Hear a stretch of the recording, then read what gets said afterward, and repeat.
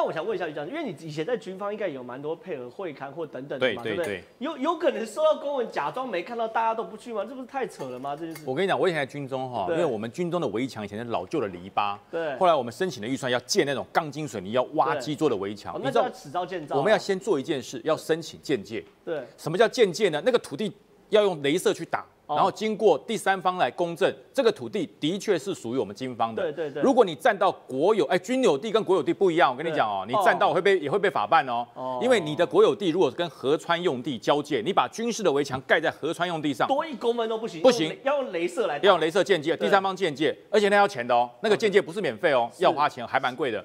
间界完毕之后，第三方和间界完毕，我才可以开工，因为我要挖基做。对，那如果不小心弄到国有用地或者河川保护地上，哎，我们当主官了要被起诉的，哎真的假的？真的会被起诉啊！所以我们一定花钱去找人家间界。为什么？如果真的弄到河川用地，间界公司你要负责。对嘛？对，那不是我。他说。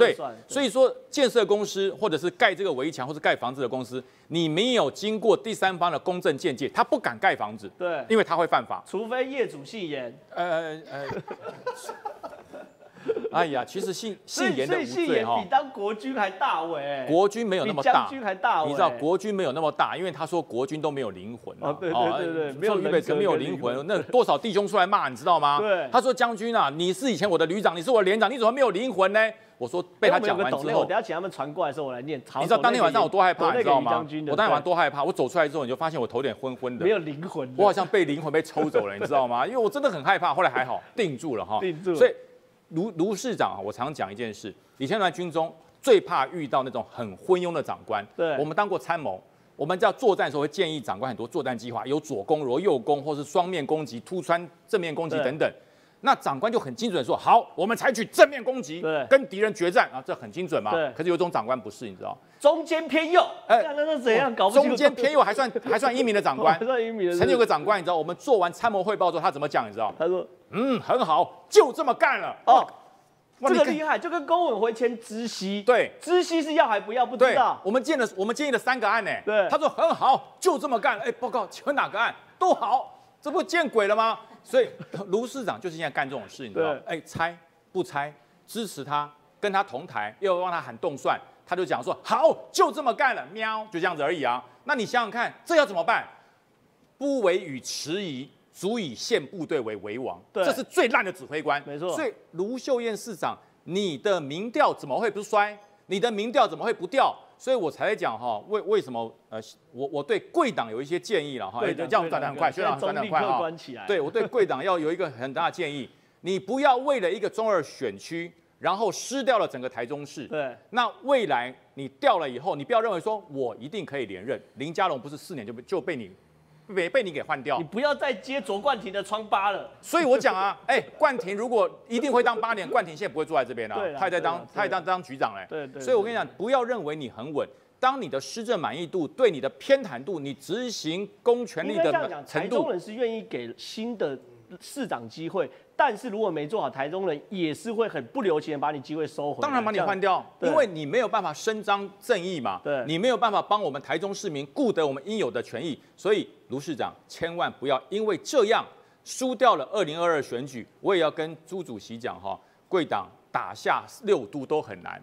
不要没有光复另外两都又掉了一都，那我觉得这样子，朱主席你的二零二四的路会有一点坎，一点坎坷，一点点，一点点因为他不会下台的，好，一没关系点点坎。坷。看来于将军还没有完全摆脱国民党的包袱。哎我还是很忠我诚我们静待他两个月之后看会怎么讲。因为于将军其实这份报告是其实是台中市政府，因为当时他们开公听会，有很多民众不知道是怎样，就是也要设这个站嘛。那台中市政府真的有做出评估，因为民众的声音要听嘛。结果发现很清楚嘛，你的正音站只有八百多人在坐公车，其他两站静营跟红光，一个是三千人，一个是一千六，明显运量比较需要嘛。可你看他最后评估结论哦，结论导播我们带大家点，经综合分析，正音路增设捷运站距离 B 三就是前一站只有九百公尺，一说，因为后来更近，变七百多公尺。路小路途哦，小于市郊合一占据的一千到两千公尺，就是一公里到两公里之间，这个距离才是设捷运站比较合理的。然后呢，正因路口周边啊人口也比较少，而且呢 B B 部分呢与 B 三站重叠。然后呢，如果要盖的话呢，要增加成本是十一点九亿，还有呢三十年期的维护成本是二十一点三五亿，等于是花三十二亿做这件事情。那你刚刚说你五百障碍跑跑跑，现在可以四分钟，年轻的时候两分半。那你这一分钟你就跑完了啊？对对，徒手的话，一分钟的一分五十秒就跑到了。那真的没有什么需要吧？而且我跟你讲哦，什么叫捷运？捷运就是快、方便，你的站越多越慢。对，所以说站与站之间大概在台北市都是一千公尺到一千五百左右。对，然后站站之间它有设 U 拜骑车道，对，对不对？或是走路步行五分钟之内到，这都是合理的设置。那有没有在八百公尺里面设置的捷运站？有，就是这两个地方都是大多数人聚集的地方。对，而且上面的这些交通比较混乱，所以说是大都会型的那个交通复杂路口，要过很多个红绿灯，很多的马路，所以透过捷运来。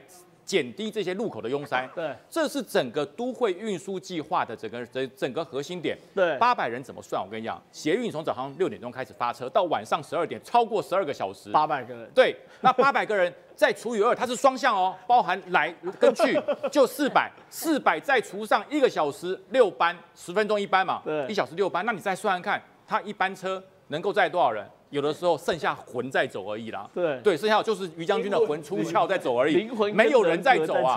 那你看十一亿是吧？十一亿，他后续维护要二十几亿哦。十一亿干什么不好？那个工作站擦手扶梯、拖地的、看东西的、弄门票的，可能都比进站的旅客要多。对，这种站是要干嘛的？要做什么的？国家的钱很多，台湾很有钱，不是这样浪费的。我跟你讲，真的要把关，不是帮某人量身。定制做他家方便的地方，所以我觉得，呃，市长啊，台中市政府的工作团队啊，民脂民膏啊，真的要小心一点啊。